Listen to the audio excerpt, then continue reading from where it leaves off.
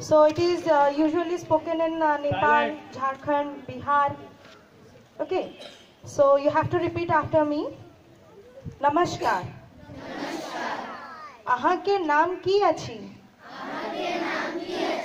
हमार नाम लक्ष्मी अछि अहाँ के की हाल अछि हम नीक छी once again repeat नमस्कार। नमस्कार। अहा के नाम की अछि?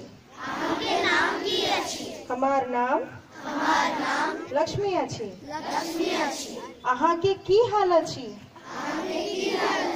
हम हम निक छी।